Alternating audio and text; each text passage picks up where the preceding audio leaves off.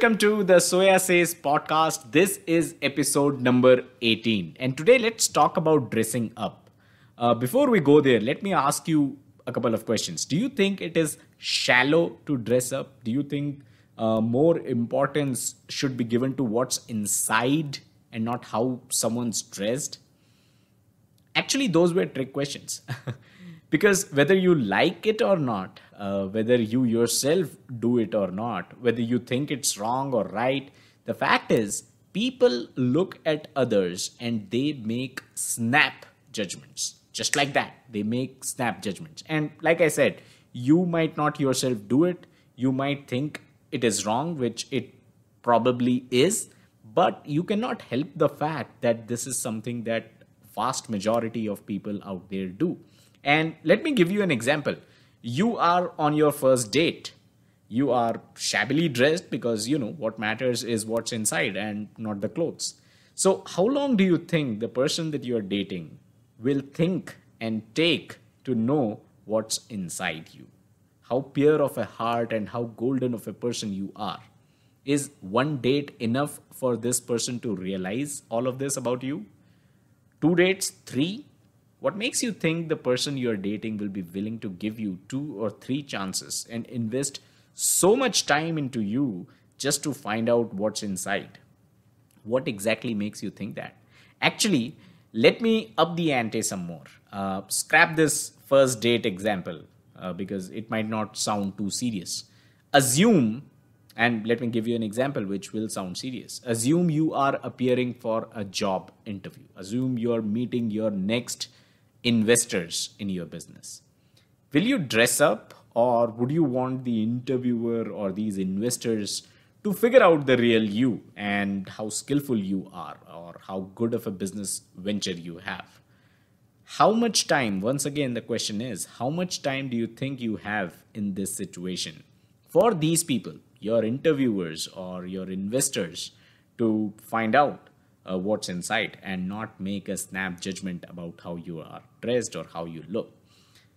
I assume you will cut the BS and you will actually dress up in situations like these. That is because you want to make an impression. You want to make a first impression and you want that impression to be good.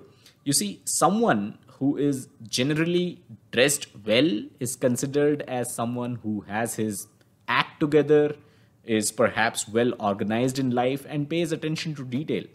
You can communicate all that by simply dressing up. I hope you realize the power dressing up has.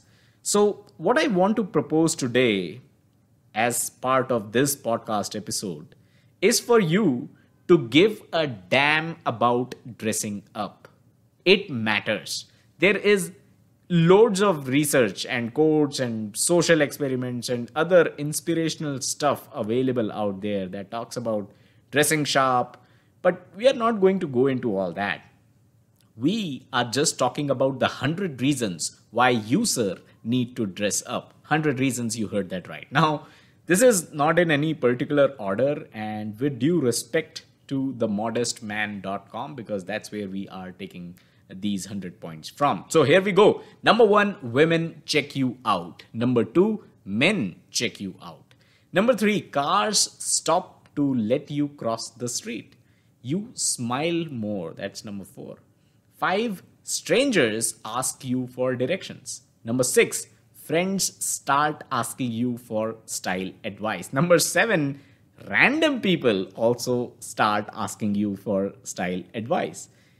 Number eight, your boss lets you slide on that deadline. Now, this may not be uh, practical in certain situations, but it is number eight nonetheless. Number nine, you get the job, even though it wasn't your best interview. And this is something that we talked about. This uh, basically is related to what we talked about.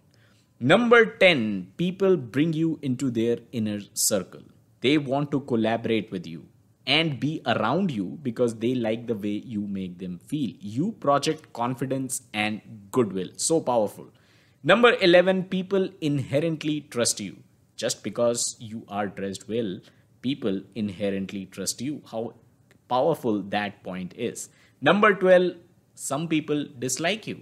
Number 13, people laugh at your jokes even when they are not very funny. Number 14, your friends make fun of you for being metro or they might say you're gay. Now, no disrespect to the LGBTQ community there, but yeah, that's what it is. Number 15, your friends start copying your style. Number 16, you sometimes feel silly when experimenting with new looks. Number 17, you notice style mistakes everywhere. Number 18, at hotels, you sometimes get upgraded to a suite. Number 19, you try hard not to judge people for making those mistakes. Number 20, you give and receive that small nod of approval to other well dressed men. Number 21, people smile at you more. 22, you detest clothes that don't fit. And 23, all of a sudden, half of your wardrobe doesn't actually fit. 24, you cringe when you see old pictures of yourself because you weren't uh, that well dressed back then. Number 25, you're not as impressed with other well dressed people. Number 26, you see collar gap all the time, everywhere, especially on celebrities. Number 27, you have mornings where you effortlessly just nail your outfit. That is very, very relaxing that you don't have to make an effort to nail your outfit. Number 28, there are days when you're late to work because you can't figure out what you want to wear. So, just an exact opposite of number 27. 29 people compliment you regularly. Number 30, you resist the urge to tell random strangers to get their pants hemmed. 31, you expect more of yourself. Other people expect more of you just by dressing up. 32, you start to expect the occasional compliment. 33, women who never noticed you before now start noticing you. 34, you feel the urge to get or stay fit. 35. Suits become comfortable. That is a powerful sentence right there. Suits become comfortable. 36. You acquire accessories sunglasses, watches, belts. Number 37. You acquire more accessories bags, ties, pocket squares. Number 38. Your apparel budget triples. 39. Women mind less when they catch you checking them out. Number 40, you notice the style details, whether it is, you know, whether they are good or bad in everyone you see. You become an expert people watcher. 41, men become jealous of you. 42, people expect you to act like you dress. 43, people expect you to be well spoken. 44, everyone says hi to you. 45, you ask random men for advice on style forums. I have been guilty of it. 46, you critique outfits for random men on style forums. 47, acronyms like MFA, OCBD, DB, they mean something to you. 48, people assume you're the boss or work at high end establishments they assume you have money, that you own the Lexus or Mercedes parked out front. Yeah, that could be a bit too much, but yeah. Anyways, 49, older people assume the best about you. 50, superiors at work take you more seriously. 51, cabs always pick you up. Although now that we have apps to do that, uh, you don't necessarily need to dress well uh, in order to have cabs pick you. 52, you realize that going sockless can be delightful. Going sockless. I'll add a video about going sockless in the description below. 53, you get comfortable with people looking at you. 54, you give half your clothes away. 55, baristas and servers remember your name. 56, you start hating business casual. You'd much prefer just casual or dressy. 57 bartenders serve you first. 58 you stop wearing sneakers. 59 every time you wear loafers your friends say oh you're dressing up. Now i have to change. Number 60 your girlfriend becomes proud of you in a new way. 61 you begin to understand the power of appearances 62 shopping becomes sport. 62 shopping becomes sport. 63 you constantly and number 62 i actually repeated it on purpose. 63 you constantly receive packages in the mail. 64 you always have something that needs to be returned.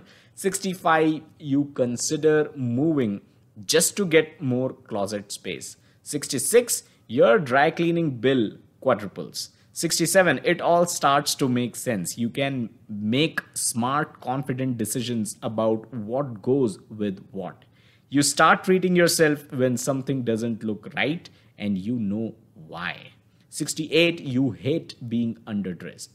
69, you overdress sometimes, but it's better than being underdressed, of course. Number 70, you know your measurements. Number 71, you understand why women love walk in closets.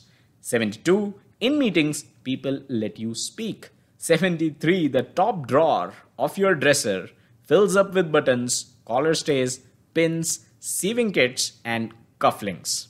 Some of this actually applies to me, uh, especially the collar stays and cufflinks. 74, you start following style blogs, lots of style blogs or YouTube channels in my case. 75, Sunday becomes wardrobe maintenance day. Laundry, shoe shining, ironing, I agree. 76, if you're a young guy, people assume you're older. If you're an older guy, people assume you're younger. 76, I'd like to repeat that if you are a young guy, people assume you are older. If you are an older guy, people assume you are younger. 77, grooming becomes much more important. 78, you experiment with different hairstyles. 79, women value your opinion about their style. 80, you look forward to cold weather because layers, right?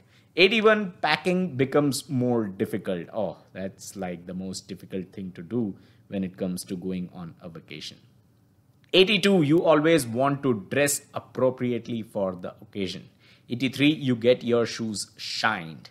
84 you inspire change in those around you.